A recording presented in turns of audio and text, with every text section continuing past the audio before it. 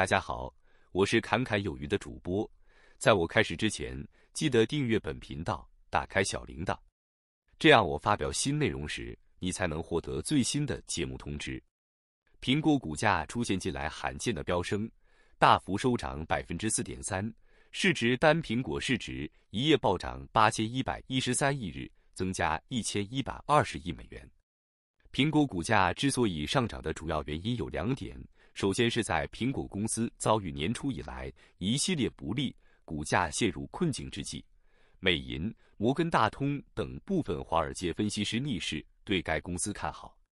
美银分析师 Wang C. Mohan 称，华尔街再一次低估了苹果的毛利率，预计未来几年苹果产品部分的毛利率将上升约一百八十个基点，服务部分的毛利率将上升约一百五十个基点。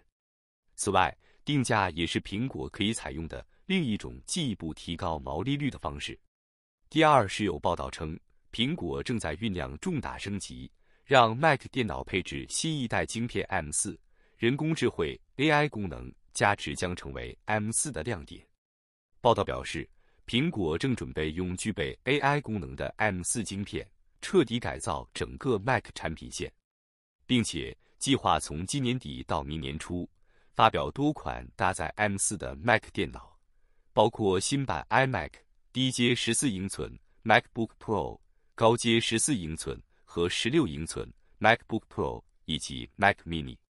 苹果是最早尝鲜先进制成晶片的公司之一。二零二三年，苹果在 iPhone 十五 Pro 和 iPhone 十五 Pro Max 中率先采用了基于台积电三纳米制程工艺 A 十七 Pro 晶片。值得一提的是，苹果向来喜欢在 iPhone 上搭载最先进晶片，然后再将这些晶片的衍生版本带到 iPad 和 Mac 产品线。苹果自研晶片 M1 系列基于 A 十四仿生，采用台积电的 N 五节点，而 M2 和 M3 系列分别使用 N 五 P 和 N 三 B。Apple Watch 的 S 四和 S 五晶片使用 N 七节点，S 六。S 七和 S 八晶片使用 N 七 P，最新的 S 九晶片则使用 N 四 P 节点。每个连续的台积电节点在电晶体密度、效能和效率方面都超越了其前身。去年年底就已经有消息称，台积电已经向苹果展示了二纳米晶片原型。当时的说法是预计将于二零二五年推出。虽然目前来看，二零二五年还早。但是随着时间的推移，苹果下一代晶片已经在路上了。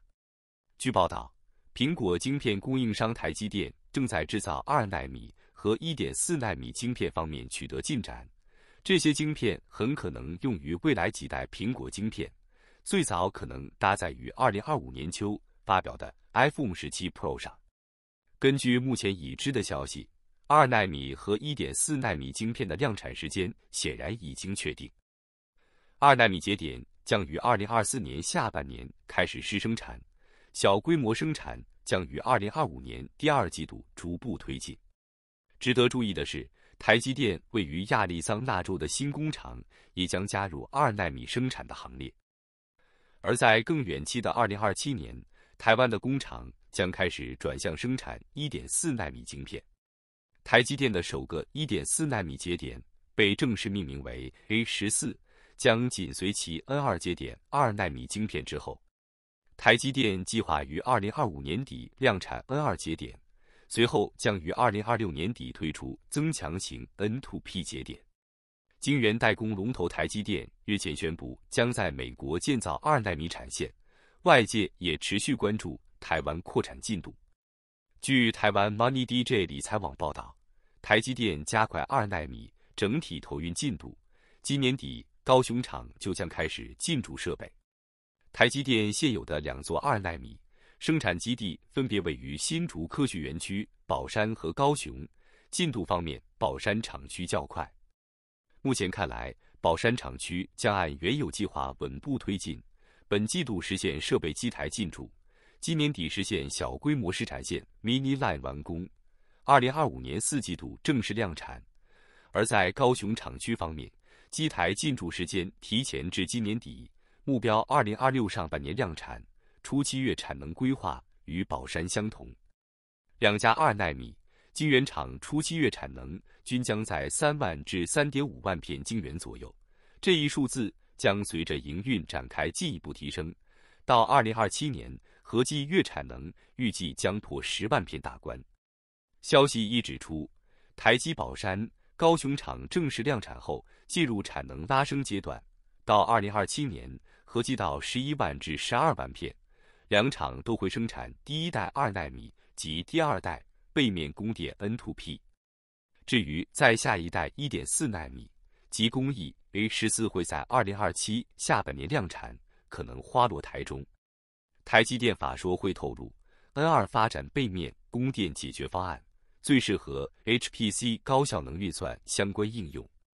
基线技术之上，背面供电使速度提升百分之十至百分之十二，逻辑密度提升百分之十至百分之十五。目标是二零二五下半年推出背面供电，并于二零二六年量产。二纳米客户方面，大客户苹果依然抢头香，生产旗舰级智慧型手机晶片。且英特尔也表达导入意愿，其他大客户如 AMD、辉达、联发科预计陆续接棒。但在具体客户问题上，Money DJ 理财网给出了不同于部分其他媒体近日报道的声音。其表示，苹果方面将在 iPhone 十七上采用 N3P 制程 SoC，直到2026年才会在终端产品中引入二纳米晶片。若以制程计划看，今年 iPhone 十六采 N 三 E，明年新机采 N 三 P，也就是说，二零二六年才会有第一个台积电二纳米终端产品上市。除台湾外，台积电近日还承诺在本十年底前在美国建设两座至少二纳米制成的晶圆厂。尽管晶片工艺在稳步推进，但眼下台积电面临两个挑战，首先是刚刚过去的地震。对台积电的二纳米工厂冲击严重，部分设备需要更换。该工厂目前仅生产少量用于测试的晶片。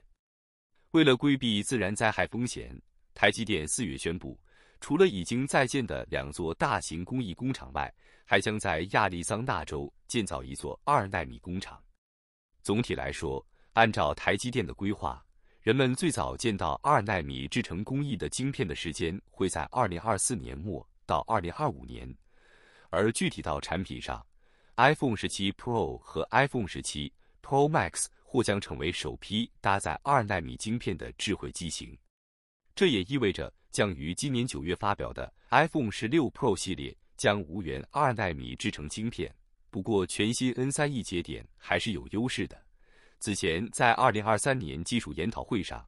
台积电业务开发副总裁张小强曾表示，N3E 在良率、工艺复杂性方面将优于 N3，这直接转化为更宽的工艺窗口。